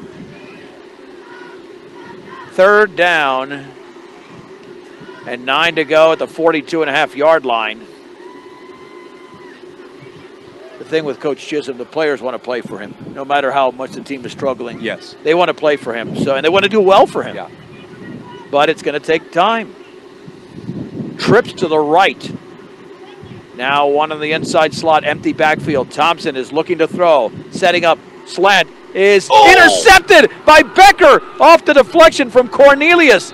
And Becker's down at about the 36 yard line, right in the hands of Cornelius, and it stuck to Becker like glue. Exactly. You know, it's just amazing how certain guys on this team they come up big week after week after week, and he is one of those guys. Him and Tanner Ludgate and, and Jace Krieger. I mean, you talk about key plays where they make things and get turnovers. It just happens week after week. Ron, what more can Tanaden Thompson do? Two great passes, one dropped, and that should have been caught. Yeah, yeah. He's he's doing everything he can do. It's just the cards just are not in their favor tonight. No, but what a play by Becker. That's not an easy interception at all. And tied with a handoff right side to the 40 yard line. Let's see who carried that football for Brush for the gain of four. Tanner Ludgate. Yep, that is Ludgate, who had a touchdown against Fort Lupton, I believe, to close out the game. Yep. yep. About a 65 yarder, I think it was. Yeah, very impressive. Well, Ludgate showed there, and he also had one near the end of the game against Valley Yep. that didn't go. That he's got speed. Yeah, he's a fast kid. Second down, and six to go from the 40 yard line. There's the pitch left, and Stutter stepping, swinging it to the outside and being thrown for a loss is Becker. Loss of four. So Becker now with two carries for 27 yards. Does have a 31 yard touchdown run. Well, that time they were setting up a 59 where the tight end helps to, to block on the defensive end and your tackle pulls out to go downfield. And I looked, our tackle was way upfield, but he didn't secure the end here and block somebody like he should have been, which would have been the outside linebacker at that situation. Morgan So- Community College here to make your dreams become a reality. Check them out at morgancc.edu, Morgan Community College. I mean, these are lessons learned, Ron. Yep. with eight and a half minutes to go in the game. And my lesson, hopefully the referee lesson, is know how to switch sides here between quarters. Third and 10 for the 36 under center is Tyne. A bootleg right. He's going to throw. He's going to throw up his back foot receiver out there, and it is broken up and up. intercepted along the left sideline. Oh, man, intercepted now at the 46 yard line. The Rebels have possession. But there was tight coverage out there. Tried to squeeze it in there. Tight coverage, young guys trying to catch the ball. Sometimes doesn't always work to your advantage. And it was intercepted over there by Isaac Almaswari. How about that for a name? That's a heck of a name. Well, I know. It's hard for me to say Isaac. Anyway, first and, first and 10 at the 47. No, when you got a lot of syllables, A L M A S W A R I, a lot of uh, syllables and vowels. First and 10 for the 47. Stam, left side, a stiff arm to the 45, but the beet diggers are there to meet him as he's driven along the sideline at the 42 for a gain of five. You know, uh, Brody Dick from Brush was right there on that tackle, but he just did not quite have enough lead in the uh, shorts there. Right. Because Stam's a big guy. He met him where he's supposed to, tried to wrap him up, but Stam Well, check it. I might have shortchanged him a yard, make it 30 yards. Nonetheless, second down and four for the 41. Weld Central might take a timeout if they have a chance to score. And here's the handoff right up the gut and a yard, and that's about it. That, I think, was Hesse. They'll give him a couple. Third down and a couple to go at the 39. 6.35 to go in the game. The Beet Diggers lead the Rebels 56 to 6. And here comes one of their receivers in there with play instructions. That's Dominic Jones. On third and two from the 39 yard line, the Beet Diggers are up by 50 in the game. Two receivers split out to the right. Dominic Jones resets on the outside right. Thompson on third and two. Back to throw, pressure up the middle. The pass is caught. First down and getting loose to the 10, to the 5, and a touchdown. That's going to go 39 yards away for Mario Gozos Ledesma. That's his second catch of the night. And it goes the distance. It's 56 to 12. Well, they kept trying to throw the ball to him all night long, and finally they were able to connect. And of course, they connect for a big play and a touchdown late in the fourth quarter. Not exactly what the Brush defense wanted to have, because I know these guys take pride in not letting people score against them. Right. But you know, it's uh, it's just one of those things. They have a little bit of a breakdown. Well, the touchdown maker, Gossos, will also attempt the extra point off the hold of Tenaden Thompson. Awaiting the snap. It's low. The kick is up, and that one is very high and very true. One more break, a 30 second break. Five minutes to go under a running clock. It's Brush 56, Weld Central 13 on 1010 KSIR and the Eastern Plains Sports Network. The Beet Diggers just gave up a 39 yard touchdown on a pass from Tenaden Thompson to Mario Cosos Ledesma. And we're under four minutes to go, running clock. Brush leads 56 to 13. Yeah, I'm not going to mispronounce. I'm Cuban. I better not mispronounce We that just name. got the thumbs up from the family down Yeah. right in front of us. Great out of job. bounds at the 25 yard line. Yep. Well, you know what? I'm not sure there's a Cuban out there, but Ronaldo Albo. Okay, that could certainly pass. Don't think, don't think you're just a full-blooded American. Yeah. There, there's, you know, not so much with Randy Dreit, but Ronaldo Albo, without a doubt. That'll work. That'll Yes, work. Yes. it's nice for your name to have flexibility. See, Exactly. like my dad, he's he's John Senior's Juan Eduardo, Mm-hmm. but in English with his clients, he's John Beltran. As the kick went out of bounds, I'll re-kick. In Spanish, he's Johnny Beltran. So you know, it's just the way. So, Yep. like I was telling you, I called soccer yesterday in Spanish, so I use the name Juan Beltran in Spanish. Uh-huh. In English, it's John Beltran. So it's, Exactly. it's just easy. You can flex the name. Yep. So if you're ever on a Spanish, bar, Ronaldo Albo, That'll work. or you could say Ron, but Ronaldo sounds, uh, you know, there, there, That's what my Spanish teacher called me in high school. Oh, did she really? Exactly, I love it. Ronaldo. I, I love it. I love the way it sounds. All right. Now kick it off. This will be Mario Cosos Ledesma with a kickoff at the 35, and he will squib this baby, and it's picked up at the 24 and down right there. It is down by Kyle Wellen. And why does the clock stop? Are, are they stopping? I don't know. Guys, yeah, then the officials said, hey, run the clock. Run. There you go. Ain't no reason. I'm having a late dinner, Ron, at home. Come on, I mean, you can't. You're gonna uh, make it. Yeah. Yeah, I'm having a 9:30 dinner, uh, 10 o'clock dinner. I'm sorry, 9:30. When I think we're, do I think we're in Fort Morgan here? No, we're, we're not that close. Not that close. By the way, the Colorado Prep Scoreboard Show with Kevin Schaefer from 9:30 to 11. Kevin's a machine. oh yes. I mean, you listen. He's got great interviews, scores of all the games tonight. 9:30 coming up here on 1010 KSIR. He's got one more week because 3A and 5A conclude their regular seasons Yep. next week. But he'll playoff previews. There's Nate Tyne off left tackle, and he spun down to the ground after a gain of about three to the 28. We'll get to our post-game show immediately. We won't even take a break because we basically have the numbers that are almost final from what we had at halftime. Yeah.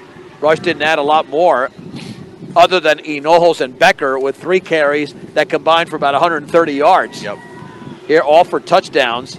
And those are the Beet Digger touchdowns here in the second half.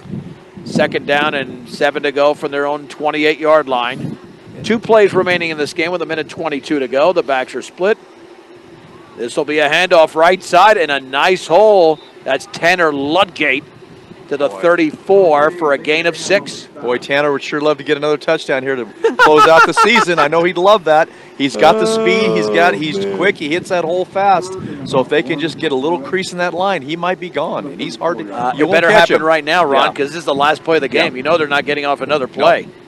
It'll be this one, if anything. No way they're getting off another play because by the time they snap it, there'll be about 42, 41 seconds to go, and they won't need to run another play. Third down and one from the 34. Let's see if they do hand it off to Ludgate. He's one of the two deep backs. With 35 seconds to go, clock running, and this is the deep back. I don't think that's Ludgate. No. And at the line of scrimmage. The Rebels in on the play. And that'll be it. The Brush Beet Diggers win tonight over the Weld Central Rebels by a score of 56 to 13. And Oh, I got it. here, Yeah. Well, because I got to, I I have to multi-purpose this, Ron. Because I got to get to the post-game show. I got my sponsors here. Another screen brought to you by Stubbs Gas and Oil. Fill up your cooler and gas up your car. Stubbs Gas and Oil, easy and convenient. Makes them the only stop you need on your way to the big game. Stubbs Gas and Oil. The Beet Diggers win 56 to 13. Weld Central drops to 2 6 and 1. The Beet Diggers 7 and 2 going into the playoffs. And Ron, before we get to the numbers quickly, they did not play down to their level of competition. They came out strong tonight. No, they did. They played very well. They they made sure they came in and proved to them they're the superior team, and they played exactly like that. So, you know, this is what they want to look forward to going into the playoffs. They do have to work on some things. They got to work on showing up, shoring up those special teams. I know I've said it over and over again, but it's one of those things that have to be taken care of because that can come back to haunt you later on. We know they're solid on offense. You know they've got multiple weapons there. It's going to make it very difficult for teams preparing and scouting them to find out exactly what they're going to do and how they're going to stop them. Yeah. That's going to be difficult. The defense, we knew coming into the season, the defense would be the strong point of this team and what they could they could rely on and hang their hat on early in the year until the offense got under control. And they are exactly just like that. They're very tough. That's going to be a hard defense to get any kind of yards against. And so this is going to be an interesting playoff run. I'm excited to see it, you know, coming back into our town again after a long drought there, and it's good to see that. I know these guys, they Coach Schwint and his team and when you really take a look at it, he's had to battle through so much adversity taking over the helm. No football field, a new building, COVID, play, you know, players being sick, players coming, you know, not being able to, to participate, getting sick, whatever, just different things like that. And you know, um, he's did a great job and his coaching staff of holding those guys together.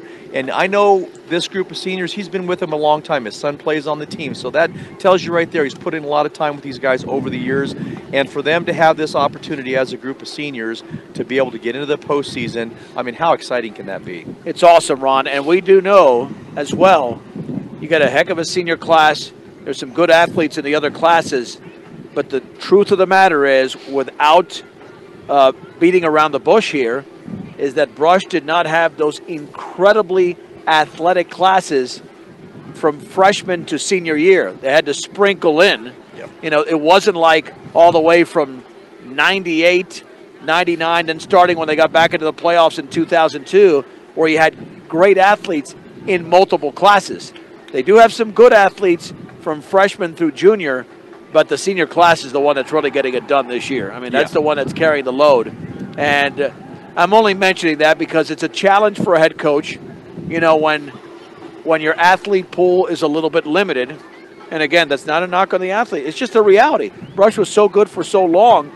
Every school, even Mullen, you know, a five A school, they, they, you know, you go through stretches where you can't win every single year. Yeah. And it's nice to see the Beet Diggers because it wasn't coaching why they missed the playoffs from 2016 to 2020. Just not enough horses there, Ron. And Lance did a heck of a job building back this program. Yeah, and that's exactly true. And you know, when you're on the outside, you you you have your opinion and your view of what you see, and you might make you know those assumptions that it's the coaching. But when you're on the inside and you're in the grind every single day, every single week, every year, you know exactly what you're dealing with. You know what you've got, and you're doing the best that you can as a coaching staff to get some confidence in those kids, get them in a situation where they can be successful, and hopefully get some ch- some time to win. That's what your job is, and it's a very difficult job. Anybody that's ever done that understands that that's not an easy task, and it's very stressful on everybody involved, coaching staff on down. So Yeah. you know, you you take it for granted when you, when our town has had a lot of success. We've taken it for granted. I'm sure at times just expecting us to be there, but that's not always the case. And so now we're I think we're on the back on the swing, you know, the uphill swing again. So it's good. It's a great feeling to have that.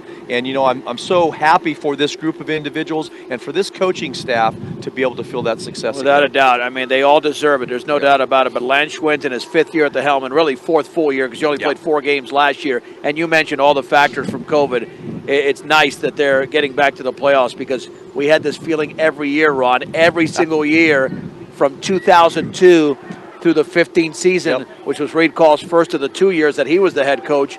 And now, you know, brighter days are back again for the Beet Diggers here in 2021. They had already clinched the playoff spot a couple of weeks ago, but they're playing like the playoffs already started because they're coming out strong, which they did tonight. Never had to punt, 56 to 13. They outgained Weld Central tonight, 393 to 87.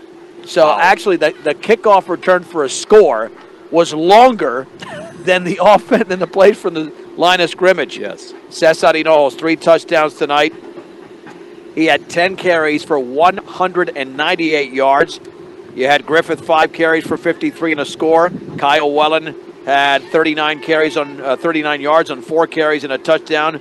Hondo, four carries for 33 yards and a touchdown. Jace Krieger, four for six and a score. Jonathan Becker, two carries, 27 yards, had a 31 yard touchdown. And that was essentially it. Hondo threw it three times or completed it three out of five for 56 yards. But the offensive numbers don't matter as much as what you were documenting. Defense, defense, defense. You held a guy, a bulldog like Zane Stam and a rebel as well, 30 yards on 18 carries. That was phenomenal. Yeah, when you can do that, you've got to be excited. You you got to be feeling good about yourself going into this hopefully potentially long run over the next four weeks in the playoffs, and that's that's what you're that's what it's all gauged for. I mean, you talk about you know when these guys were back in football camp and they were back in the summer, they're lifting weights, they're they're coming out, they're doing whatever they can.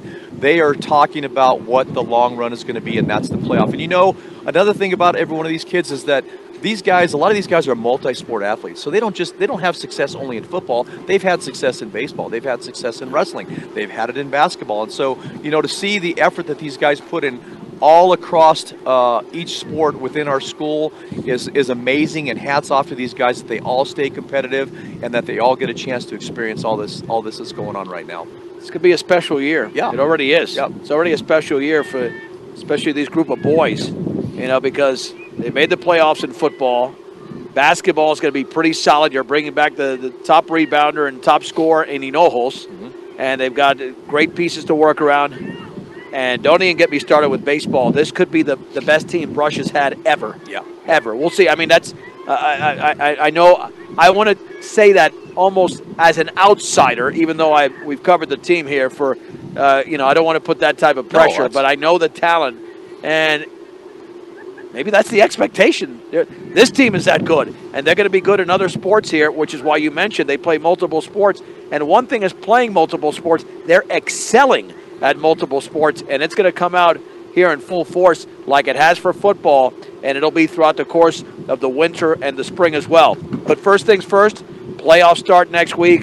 All you got to do is tune in to uh, 1010 KSIR Preps and more from 1 to 2, or on our Facebook page, 1010 KSIR Sports, on Twitter at KSIR Sports as well, as the Beet Diggers win tonight by a score of 56 to 13. I don't think Coach Wynn is going to make it all the way. No, he's- here. he's got a lot of Not- celebrations going on Not for there. road games, not, and that's fine. That's fine. Uh, we will speak to him. Hopefully, the Bee Dig. We don't even know if they're going to host a first round game. Uh, they're a league champion. So I would think that would be enough, but we will see. Yeah. But Oh. stay tuned. Kevin Schaefer will have the breakdowns tonight. He'll have playoff possibilities coming up tonight for the Colorado Prep Scoreboard Show, which is still just over half hour away. Well, it was my incredible pleasure to work with Ron Albo for at least one game this season. Ron will be back with uh, Tyler here coming up for the uh, playoffs, and that'll begin on Saturday, a week from tomorrow. For Ron Albo and our sound engineer and producer Rose Condas, I'm John Beltran. The final score once again tonight from Keenesburg. The Brush Diggers win their sixth in a row. They finish out the regular season at seven and two, defeating the Weld Central Rebels 56 to 13, right here on 1010 KSIR and the Eastern Plains Sports Network.